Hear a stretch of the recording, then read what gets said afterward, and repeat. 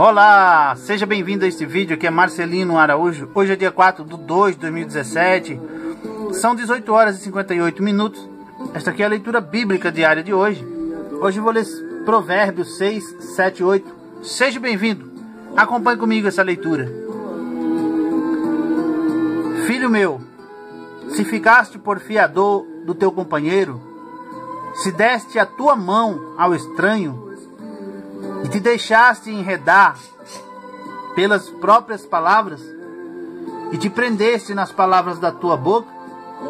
Faze, pois, isto agora, filho meu, e livra-te, já que caíste nas mãos do teu companheiro.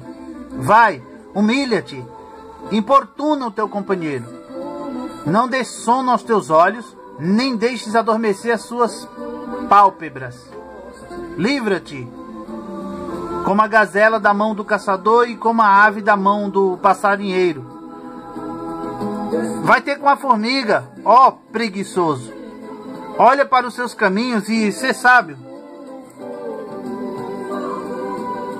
Pois ela, não tendo chefe, nem guarda, nem dominador, prepara no verão o seu pão, na cega junta o seu mantimento. Ó preguiçoso, até quando ficarás deitado? Quando te levantarás do teu sono? Um pouco a dormir, um pouco a tosquenejar, um pouco a repousar de braços cruzados, assim sobrevirá a tua pobreza, como meliante, e a tua necessidade como um homem armado. O homem mau, o homem iníquo, tem a boca pervertida acena com os olhos, fala com os pés e faz sinais com os dedos. Há no seu coração perversidade, todo tempo maquina mal, anda semeando contendas. Por isso a sua destruição virá repentinamente, subitamente será quebrantado, sem que haja cura. Estas três coisas o Senhor odeia e a sétima, a sua alma abomina. Olhos altivos, língua mentirosa, mãos que derramam sangue inocente, o coração que maquina pensamentos perversos, pés que se apressam a correr para o mal, a testemunha falsa que profere mentiras e o que semeia contendas entre irmãos. Filho meu, guarda o mandamento de teu pai e não deixes a lei da tua mãe. Ata-os perpetuamente ao teu coração e pendura-os ao teu pescoço. Quando caminhares, te guiará. Quando te deitares, te guardará. Quando acordares, falará contigo. Porque o mandamento é lâmpada e a lei é luz. E as repreensões da correção são o caminho da vida, para te guardarem da mulher vil e das lisonjas da estranha. Não cobices no teu coração a sua formosura, nem te prendas aos seus olhos, porque por causa de uma prostituta se chega a pedir um bocado de pão, e a adúltera anda à caça da alma preciosa. Porventura, tomará alguém fogo no seu seio, sem que suas vestes se queimem? Ou andará alguém sobre brasas, sem que se queimem os seus pés?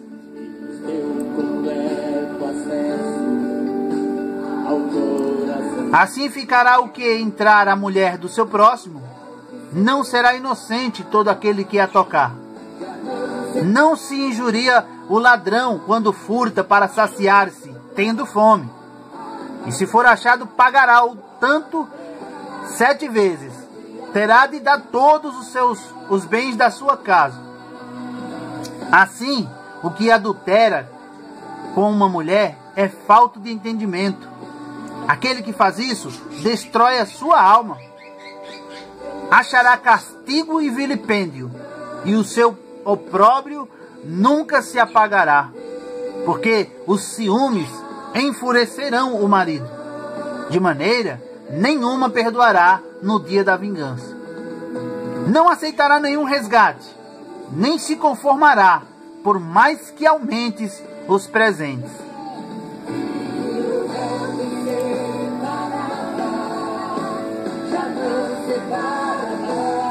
Filho meu, guarda as minhas palavras e esconde dentro de ti os meus mandamentos. Guarda os meus mandamentos e vive. A minha lei como a menina dos teus olhos. Ata-os aos teus dedos, escreve-os na tábua do teu coração. Dize a sabedoria: Tu és minha irmã, e a prudência, chama-a de tua parenta, para que elas te guardem da mulher alheia, da estranha que lisonjeia com as suas palavras. Porque da janela da minha casa, olhando eu por minhas frestas, vi entre os simples, descobri entre os moços um moço falto de juízo, que passava pela rua junto à sua esquina e seguia o caminho da sua casa.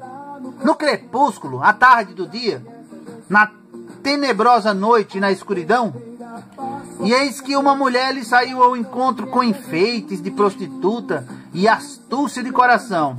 Estava alvoroçada e irrequieta. Não paravam em sua casa os seus pés. Foi para fora, depois pelas ruas e ia espreitando por todos os cantos. E chegou-se para, para ele e o beijou. Com face impudente lhe disse: Sacrifícios pacíficos tenho comigo. Hoje paguei os meus votos.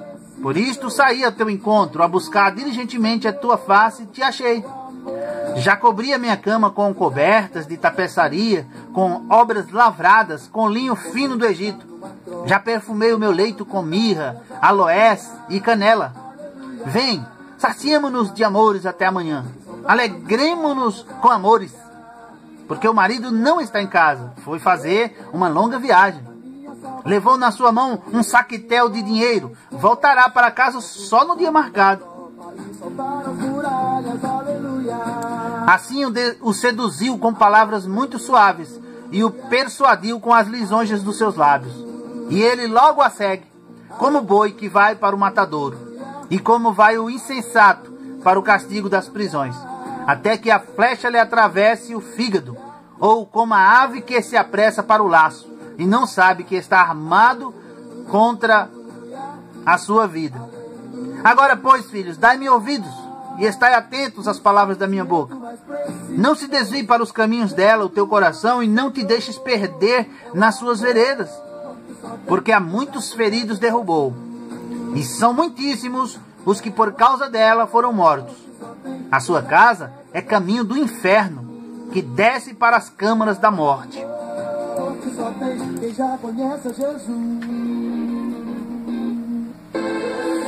Não clama porventura sabedoria e a inteligência não faz ouvir a sua voz? No cume das alturas, junto ao caminho, nas, nas encruzilhadas das veredas se posta. Do lado das portas da cidade, a entrada da cidade e a entrada das portas está gritando. A vós, ó homens, clamo, e a minha voz se dirige aos filhos dos homens. Entendei, ó simples, a prudência, e vós, insensatos, entendei, a, entendei de coração. Ouvi, porque falarei coisas excelentes, os meus lábios se abrirão para a equidade. Porque a minha boca proferirá a verdade, e os meus lábios abominam a impiedade. São justas todas as palavras da minha boca. Não há nelas nenhuma coisa tortuosa nem pervertida. Todas elas são retas para aquele que as entende bem e justas para os que acham conhecimento. Aceitai a minha correção e não a prata, e o conhecimento mais do que o ouro fino escolhido, porque melhor é a sabedoria do que os rubis. E tudo que se mais tudo que mais se deseja não se pode comparar com ela. Eu, a sabedoria, habito com a prudência e acho o conhecimento dos conselhos. O temor do Senhor é odiar o mal, a sabedoria, a soberba e a arrogância, o mau caminho e a boca perversa eu odeio. Meu é o conselho e a verdade e a verdadeira sabedoria. Eu sou o entendimento. Minha é a fortaleza. Por mim reinam os reis e os príncipes decretam justiça. Por mim governam príncipes e nobres, sim, todos os juízes da terra. Eu amo aos que me amam, e os que cedo me buscarem me acharão. Riquezas e honra estão comigo, assim como os bens duráveis e a justiça. Melhor é o meu fruto do que o ouro, do que o ouro refinado, e os meus ganhos mais do que a prata escolhida. Faço andar pelo caminho da justiça no meio das veredas do juízo. Para que faça herdar bens permanentes aos que me amam, e eu encha os seus tesouros. O Senhor me possuiu no princípio de seus caminhos, desde então e antes de suas obras. Desde a eternidade fui ungida, desde o princípio, antes do começo da terra. Quando ainda não havia abismos, fui gerada. Quando ainda não havia fontes carregadas de águas. Antes que os montes se houvessem assentado, antes dos outeiros eu fui gerada. Ainda ele não tinha feito a terra, nem os campos, nem os nem o princípio do pó do mundo. Quando ele preparava os céus, aí estava eu. Quando traçava o horizonte sobre a face do abismo, quando firmava as nuvens de cima, quando fortificava as fontes do abismo, quando fixava ao mar o seu termo, para que as águas não traspassassem o seu mando, quando compunha os fundamentos da terra. Então eu estava com ele e era seu arquiteto. Era cada dia as suas delícias, alegrando-me perante ele em todo o seu em todo o tempo regozijando-me no, no seu mundo habitável e enchendo-me de prazer com os filhos dos homens. Agora, pois, filhos, ouvi-me, porque bem-aventurados serão os que guardarem os meus caminhos. Ouvi a instrução e sede sábios, não a rejeiteis. Bem-aventurado o homem que me dá ouvidos, velando as minhas portas cada dia, esperando as ombreiras da minha entrada. Porque o que me achar, achará a vida e alcançará o favor do Senhor. Mas o que pecar contra mim, violentará a sua própria alma.